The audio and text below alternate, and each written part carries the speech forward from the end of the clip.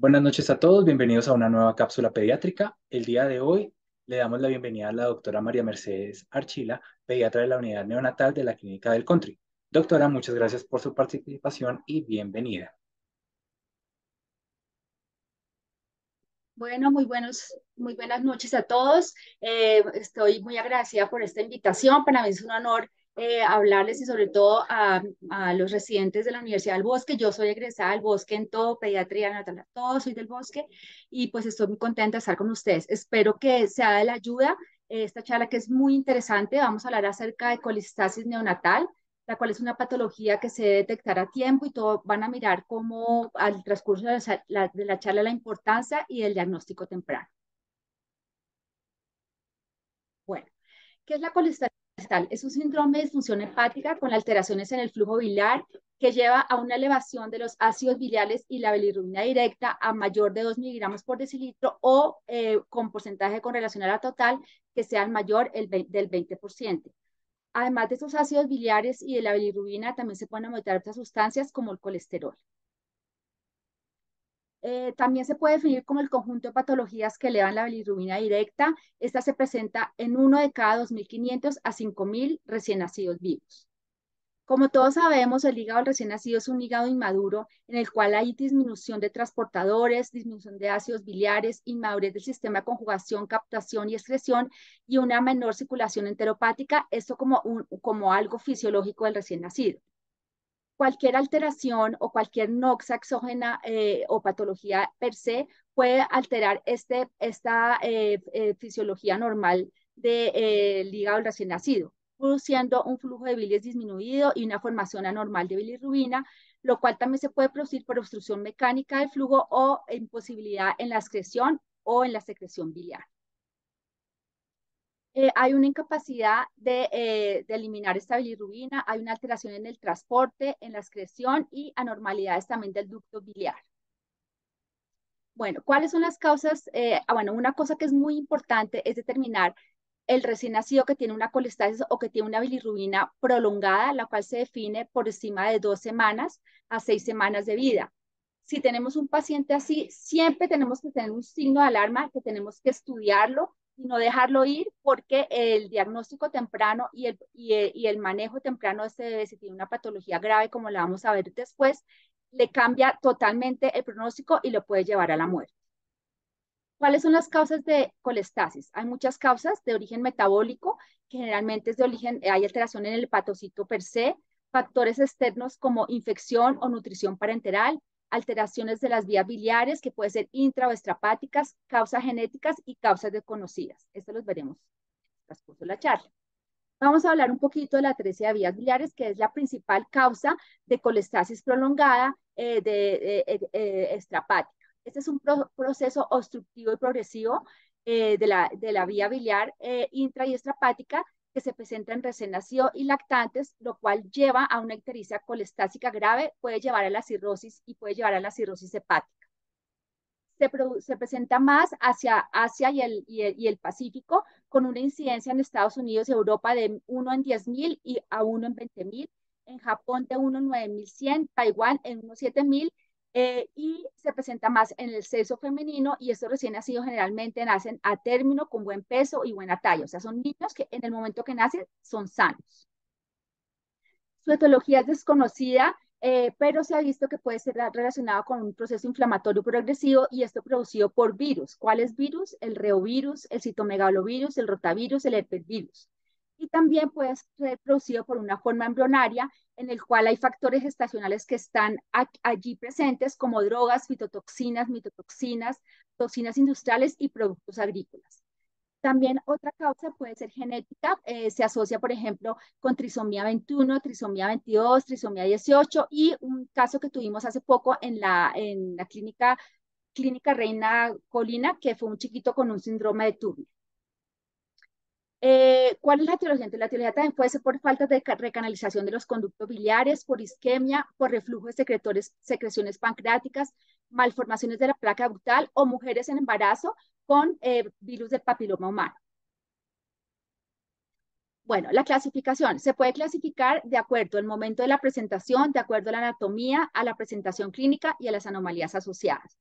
De acuerdo al momento, se puede presentar postnatal, que es en la mayoría, en un 65 a 90% de los casos, o embrionaria eh, o fetal, que se presenta en un 10 a 35%. Esta última eh, generalmente es fatal y, la, digamos que el pronóstico es mucho más sombrío. En cuanto a la clínica, se puede clasificar como aislada o sindromática asociada a otras malformaciones que ahorita las vamos a ver, quística o asociada a infección por citomegalovirus. Desde el punto de vista anatómico se clasifican tres tipos. La tipo 1 es de 5 a 12% de los casos se presenta, se produce obliteración del colédoco. En el tipo 2, 2% de los casos se produce, eh, alteración del conducto hepático y esta se subdivide en un conducto hepático común con o sin atresia del colédoco, del cístico y de la vesícula biliar o cuando hay el colédoco, el cístico y la vesícula con un hepático común permeable y la tipo 3 que se presenta en el 86 y 90% de los casos, que el cual está alterado el coleo, el hepático y la vesícula eh, las malformaciones asociadas se presentan, como ya lo dije, en un 10 a 20% de los casos. Estas pueden ser asplenia, polisplenia, malrotación intestinal, citos inverso, vena porta preductal, isomerismo hepático, ausencia de vena cava inferior y algunas cardiopatías. En cuanto al diagnóstico, vamos a hablar de la parte clínica. Se produce edema, circulación colateral, puede producirse hepatomegalia y esplenomegalia. Hay un trastorno en el crecimiento, hay alteraciones nutricionales y cuando ya está más avanzada la enfermedad puede haber signos y síntomas de hipertensión portal y sangrado por varices esofágicas. En cuanto a los paraclínicos, hay que pedir un hemograma, pruebas de coagulación, transaminasas, bilirrubina, fosfatasa alcalina, antígeno superficie hepatitis B y C y una gamma glutamiltraferasa, que es un nivel de evidencia 2, la cual está elevada por encima de 300 microgramos.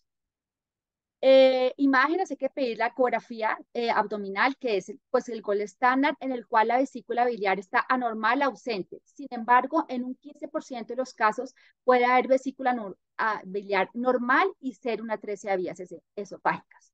Hay un signo que se llama signo del cordón triangular, que es un cordón fibroso a nivel del hilio hepático de marcada densidad. Y puede haber dilatación quística focal de la vía biliar extrapática en forma quística. Otro eh, diagnóstico es la gamografía hepatobiliar, que tiene un 98% de especificidad y siempre para hacerla hay que preparar al paciente con un medicamento que estimule ese flujo biliar, que es el fenobarbital o ácido ursadesoricólico. El fenobarbital se da a dosis de 5 miligramos por kilo día se puede hacer por vía oral y se le da durante tres días y después ya se lleva para la gamografía. ¿Qué pasa en la, en la, en la 13? Hay una captación hepática del fármaco sin excreción. En el caso que haya excreción y haya, eh, y haya poca captación por el hígado, excluimos eh, eh, atresia vías biliares y puede ser otra patología. Otro diagnóstico es de vía endoscópica que se hace por una intubación o aspiración duodal, que no se tiene, y al hacerlo no se va a obtener bilis. Ese es un nivel de evidencia 2, no se está utilizando mucho en este tiempo, pero pues también está ahí.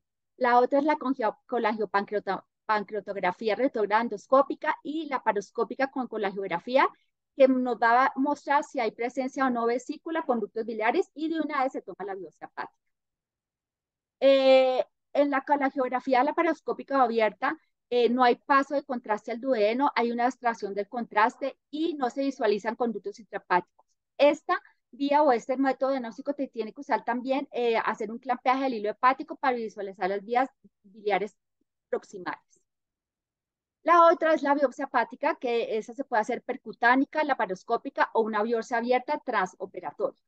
En ella se encuentra proliferación de conductos y conductillos biliares, fibrosis de los tractos portales, colestasis, tapones de bilis en los conductos dilatados, necrosis focal de células hepáticas y alteraciones inflamatorias y transformación celular. La cirugía es muy importante hacerla eh, tempranamente, por lo tanto el diagnóstico también se debe hacer temprano, porque entre más días pase, eh, el pronóstico cambia altísimo en el bebé. La cirugía se habla entre 45 y 60 días de vida y se debe, pues obviamente, tomar paraclínicos, se colocan ayuno el paciente, se, se coloca antibioterapia profiláctica, un acceso venoso y vitamina K. ¿Cuál es la cirugía? Se llama cirugía Kasai, que es una portoenterostomía, en la cual se hace como una, eh, tratar de drenar esa, esa, bilis a través de una Y de, una y de Rus del duode, del yeyuno, perdón. El 30% después de esa cirugía va a restablecer la flujo biliar, el otro 30% va a restablecer en forma parcial y estos niños en algún momento va a requerir trasplante hepático. Del 40% restante van a restablecer el flujo biliar, pero de ese 40%, el 70% va a trasplante hepático y va a cirrosis e hipertensión portal. Entonces, como le dije, la portoestereostomía, eh, sin embargo, al hacerla, el 80-90% de esos niños en algún momento requiere el trasplante hepático. El primer trasplante hepático que se hizo eh, en el mundo fue en 1963 y la principal causa de este trasplante es la atresia de vías biliares. Los factores pronósticos buenos para estos bebés es cuando, como ya les dije, cuando se realiza la cirugía antes de los 60 días, cuando la atresia biliar es tipo 1 o 2 que no sea sindromática, cuando hay ausencia de cirrosis hepática, cuando hay presencia de bilis intraoperatoria, cuando hay disminución o desaparición de bactericia, generalmente se desaparece después del casalla a los tres meses. El pronóstico a, 10 años es bueno, hacia los, el 75%, y si no hay bilis a los tres meses, el pronóstico solamente es bueno en el 30%. Es muy importante vigilar el color de las heces, si ya mejoría las bilis y el aclaramiento de la columna. También que haya disminución de la, de la gamma glutamiltransferasa, eh, gamma y es muy importante la experiencia quirúrgica. Por eso esos niños siempre se deben remitir a centros que tengan una gran experiencia y no, pues, eh, digamos, porque el pronóstico cambia. Eh, también la ausencia de colangitis, que es una de las complicaciones graves en estos bebés, y que haya una buena ganancia de peso y de talla. Bueno, ahora vamos a hablar de otras patologías que pueden presentar colestasis. Unas son las genéticas que ya, ya las dijimos y otras son las metabólicas que son la galactosemia, tirosinemia, hemocromatosis, defectos de ciclo de la urea, colestasis intra y familiar, que es la enfermedad de Baylor, fibrosis quística y síndrome Swallow. Bueno, otra es el síndrome de Alagil. El síndrome de Alagil es, em, es una patología o es un síndrome genético autosómico dominante que lleva colestasis en un 10 a 15% de los casos y muchos de los niños pueden también tener trasplante hepático. Eh, se presenta de uno cada 100.000 recién nacidos vivos y en el cual hay una escasez de los conductos biliares, lo cual se llama ductopenia. Se asocia con anomalías cardíacas como es el estenosis de la arteria pulmonar, con dismorfismo. Estos niños tienen una frente prominente, ojos hundidos, hipertelorismo, mentón puntiagudo y siempre hay que hacerles valoración por oftalmología porque pueden presentar embriotoxón. El retardo mental se asocia en un 10 a 15% de los casos y cuando, cuando hay acolia y colestasis, digamos que el pronóstico no es tan bueno y generalmente esos niños pueden terminar el trasplante.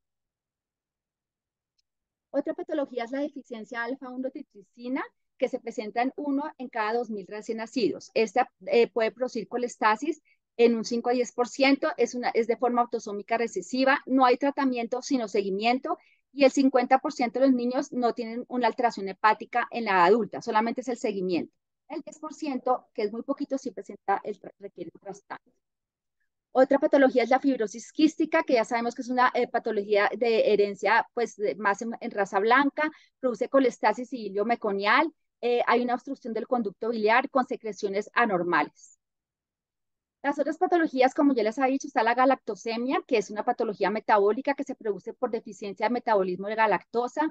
Hay una acumulación de galactosa 1-fosfato, es autosómica recesiva y se presenta uno entre cada 35 mil recién nacidos. La clínica es vómito, letargia, ictericia, patomegalia, insuficiencia hepática cuando damos la fórmula láctea. La otra es la tirosinemia, que es, un error congénito de la síntesis de ácidos biliares. Está la enfermedad anemia tipo C, el hipotiroidismo, el panituitarismo eh, y los trastornos mitocondriales. Bueno, dentro de las formas eh, de colestasis por compromiso hepático está la hepatitis neonatal, que se presenta entre 1, 4 mil a 9 mil recién nacidos, se presenta más en el sexo masculino, en recién nacidos que hayan sido de bajo peso o muy prematuros, y esto se produce por inmadurez, isquemia, hipoxia o también puede ser por sepsis. Bueno, otra causa de, colestasis que es más tóxica es la nutrición parenteral. Esa se produce eh, después de llevar más de dos semanas de nutrición parenteral y obviamente las que llevan más tiempo son los niños que tienen, que son prematuros. Generalmente se presentan un 20 a 50% de los niños menores de mil gramos se produce una lesión hepatocelular, una inflamación de los hepatocitos, necrosis, colestasis y, se, y, se, en biosa se ven células gigantes. Los factores de riesgo, como ya dijimos, inmadurez del sistema patobiliar, prematurez, retardo de crecimiento, demora la vía oral, o sea, por eso es muy importante que sea estímulo, estímulo eh, enteral a esos bebecitos, también por sepsis y por enterocolitis que llevan al más, más, más tiempo del uso de la nutrición parenteral. Pues todos los componentes de la nutrición tienen suman algo en esta, en esta causa de colestasis, pero están los carbohidratos que puede producir hígado graso, las proteínas, los lípidos con sus esteroles vegetales, los elementos a dosis altas, el magnesio, el cobre son tóxicos, el, el selenio además produce una cardiomiopatía muscular, el zinc que produce diarrea, pobre crecimiento y anorexia. Bueno, Ahora nos vamos por el lado del diagnóstico de la colestasis. Entonces, como siempre, es clínico. Entonces, por favor, eso quiero que quede muy claro. Los niños que tienen una ictericia prolongada, tenemos que estudiar y saber que sea de qué tipo de bilirrubina, sea directa, indirecta, y si es directa, hay que estudiarla. La vuelvo a repasar, mayor de 2 miligramos por decilitro o el 20% de la total. Entonces, eh, esos niños generalmente tienen un color verdoso, se produce coluria por sales biliares en, la orina, hepatomegalia, el pañal está, eh, tiene un tinte amarillo y acolia. Es muy importante el tamizaje colorimétrico que todos lo conocemos para mirar eh, y enseñarle a los papás cuáles son los niños que pueden presentar acolia o el color de las heces.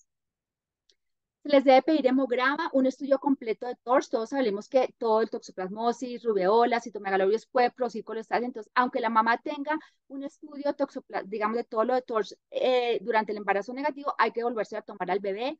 Pruebas de función hepática, trasaminasas que pueden estar normales o aumentadas, fosfatasa alcalina, que en el caso de, por ejemplo, la 13 vías biliares está muy aumentada, y una gama glutamitafrasa que, como la habíamos dicho, tiene que estar por encima de 300 para hablar de que esté alterada.